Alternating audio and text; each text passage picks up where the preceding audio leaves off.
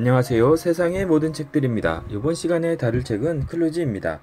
이 책은 10억 연봉 유튜버 라이프 해커 자청, 즉 자수성가 청년이 자신의 인생을 바꾼 책이라고 소개하였습니다. 그 후 2008년도에 발간된 책이 예스24의 베스트셀러 10위권 안에 들 정도로 인기를 끌고 있는 책이 되었습니다. 그러면은 책의 외관을 간단히 살펴보도록 하겠습니다. 클루지 세상의 역사를 뒤집는 기막힌 발견. 이 클루지라는 뜻은 서투른 또는 세련되지 않은 해결책이나 고장나기 쉬운 애물단지 컴퓨터란 뜻이고요. 여기 표지의 그림을 보면 뇌 그림이 있는데 이것은 어, 책의 내용을 간략히 설명해주고 있습니다. 즉 우리 마음이 이것처럼 주먹구구식으로 진화를 해서 많은 결함을 가지고 있다는 것입니다. 그러면은 게리 마커스 저자의 간단한 양력을 살펴보겠습니다. 뉴욕대학교 심리학과 교수이자 언어학습센터 소장, 심리학, 언어학, 분자생물학을 통합하여 인간의 마음의 기원에 대해 연구하고 있는 세계적 학자라고 합니다. 1993년 23세의 나이로 MIT에서 스티븐 핑거의 지도 아래 뇌와 인지과학을 연구하여 박사학위를 수여하였다고 합니다. 그러면 책 날개를 갈, 간략히 한번 보겠습니다. 생각의 함정을 파헤치다, 진화의 실수를 추적하다. 우리는 고귀한 이성을 지닌 존재인가 또는 신의 형상대로 만들어진 완전한 존재인가 세계가 주목하는 뉴욕 대학의 심리학자 게리 마커스는 우리들이 그런 존재와는 거리가 멀다고 말한다. 마커스는 인간의 마음이 세련되게 설계된 기관이라기보다 클루지, 곧 서툴게 짜맞춰진 기구라고 주장한다. 생존 때문에 최선의 선택을 방해받는 진화의 법칙, 즉 진화의 관성 때문에 우리들의 마음과 세계는 불완전하다는 것이다. 그는 인간 진화의 장대한 시간을 꿰뚫는 역사적인 통찰을 통해 근본적으로 새로운 관점에서 인간의 마음을 조망한다. 그리고 기억, 신념, 선택, 결정, 언어, 행복 등 인간의 삶을 구성하는 중요한 정신 영역을 두루 살피며 우리들이 세계 곳곳에서 현명한 일상을 방해하는 생각의 함정을 파헤친다. 그러니까 요 날개에 있는 내용이 이 책의 주요 그 내용을 설명하고 있고요. 그다음에 이 뒤쪽에 그 여러 유명한 인사나 그 언론에서 이 책을 평가한 간략한 설, 그 얘기들이 나와 있는데요. 그는 인간의 언어와 생각에 관한 완전히 새로운 개념을 제시했다. 클로지는 진화의 제약과 타협이 인간의 마음에 각인되어 있다는 사실을 뒷받침하는 가장 적절한 최신의 논증을 제시한다. 이건 스티븐 핑거가 얘기를 했고 반드시 읽어야 한다. 자신을 이해하려면 시드 매거진에서 이렇게 얘기를 했고요. 일상과 세계의 불완전함을 완전 완벽하게 해부했다. 인간의 마음이 어떻게 얽혀 있는지 또 언제 완전히 작동을 멈추는지 속속들이 밝혀냈다. 뉴스위크에서 이렇게 얘기했고요. 자, 이 책의 내용은 상당히 저에게도 새로운 내용이었고 특히 생각의 결함을 해결하기 위한 13가지 제안은 정말 도움이 되는 내용이었습니다. 자, 이제 책의 내용을 살펴보도록 하겠습니다. 이 책에서는 우리의 뇌는 처음부터 완벽히 만들어진 것이 아니라고 합니다. 최초의 후뇌가 생성되었는데 이것은 호흡, 신체 균형 등을 관리합니다. 그 뒤 생긴 중뇌는 시각과 청각 반사를 조절한다고 합니다. 마지막으로 생긴 부위인 전뇌는 언어나 의사결정 같은 일들을 통제한다고 합니다. 하지만 종종 오래된 체계에 의존하는 경향이 있습니다. 이렇듯 우리의 뇌가 진화론적으로 옛 체계 위에 새 체계를 얹히는 형식으로 생성되어서 결함을 갖게 됩니다. 이런 뇌의 성격 때문에 우리 뇌는 여러 클로지를 갖게 되는데 저자는 기억, 신념, 의사결정, 언어, 행복, 심리의 측면에서 이야기를 하고 있습니다. 첫째, 우리의 기억은 완벽하지 않고 뒤죽박죽입니다. 이 이유는 우리가 컴퓨터와 같이 우편 번호식 기억을 가지고 있지 않기 때문입니다. 즉, 우리는 어떤 것을 기억 속에서 끄집어내기 위해서 맥락이나 단서를 이용해야 한다고 합니다. 이런 맥락 의존적인 기억은 자주 일어나는 것, 최근에 했던 것, 즉 우리에게 유용할 가능성이 큰 정보를 가장 빨리 불러냅니다.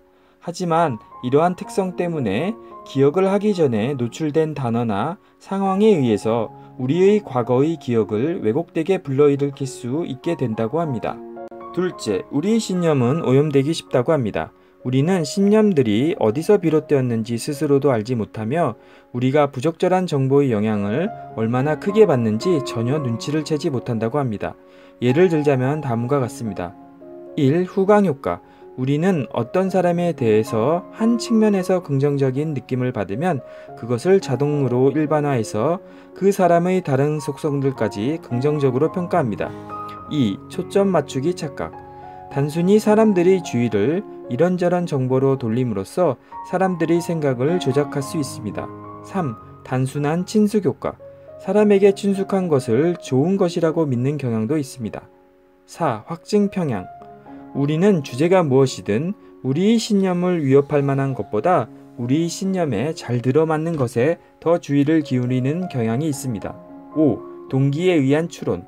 우리는 우리가 믿고 싶은 것을 우리가 믿고 싶지 않은 것보다 훨씬 더 관대하게 받아들이는 경향이 있습니다. 우리는 직접 본 것과 들은 것을 자동적으로 믿는 경향이 있습니다. 그리고 나중에서야 비로소 그것이 믿을 만한 것인지 따져본다고 합니다. 이것은 요새처럼 각종 미디어에 노출되어 있는 사람들에게 잘못된 신념을 가지게 할 수 있는 가능성이 높아진다는 것을 의미합니다. 셋째, 우리의 일상적인 선택을 지배하는 뇌의 메커니즘이 엉성하다고 합니다. 특히 진화의 비교적 최근 산물인 의식적 의사결정에 가까이 갈수록 우리의 결정은 더 형편없는 것이 될 때가 많습니다. 즉, 100달러짜리 전자레인지를 사는데 25달러를 아끼기 위해서는 시내 반대편까지 차를 몰고 가지만 1000달러짜리 텔레비전을 사는데 똑같이 25달러를 아끼기 위해 시내 반대편까지 차를 몰고 가는 사람은 거의 없습니다. 이것은 우리 내는 돈을 상대적으로 계산하기 때문입니다. 더욱이 우리의 선택은 기억의 매개를 통해서 이루어지는데 선택의 순간에 어떤 기억을 불러내는지에 따라 때로는 결정적인 차이가 난다는 것입니다. 간략하게 세 가지 분야에서의 클루지만 살펴보았습니다. 그럼 우리는 클루지를 이겨내기 위해서 어떻게 해야 할지를 알아보겠습니다. 1. 대안이 되는 가설들을 되도록 함께 고려하라.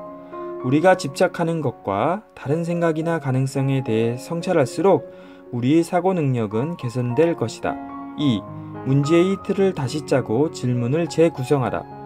언제나 사태를 회의적인 눈으로 바라보고 상대의 질문을 재구성하는 습관을 길러라. 모든 문제를 하나 이상의 방식으로 물어보라. 3. 상관관계가 곧 인간관계가 아님을 명심하라.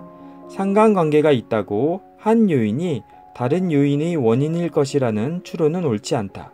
4. 여러분이 가진 표본의 크기를 결코 잊지 말라. 단 한 번 일어난 사건은 우연할 것인지 모른다.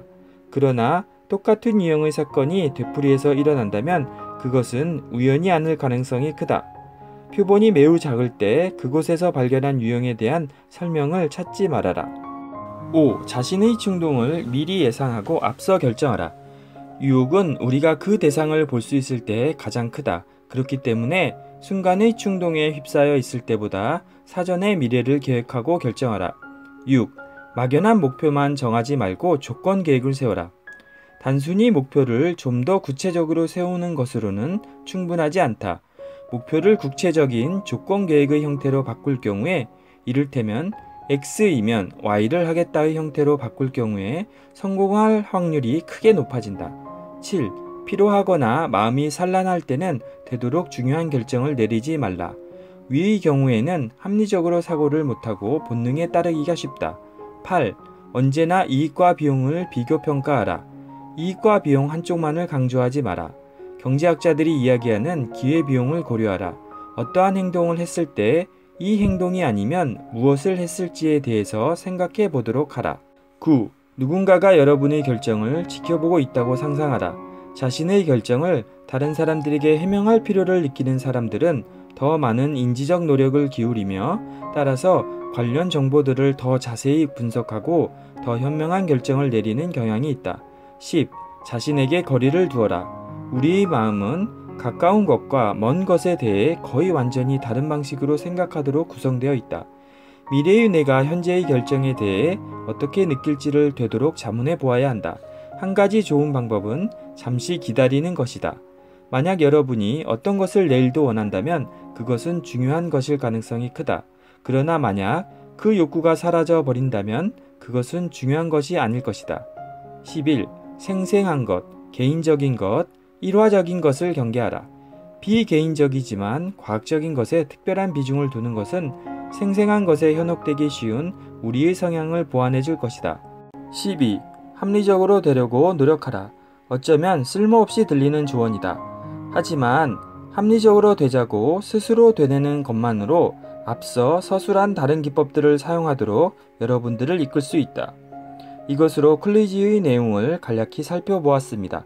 마지막 13가지의 조언 중 한 가지 조언이라도 자신의 생활에 적용하여 성공적인 생활을 하는데 도움이 된다면 이 책을 읽는 시간이 안 아깝다고 생각합니다.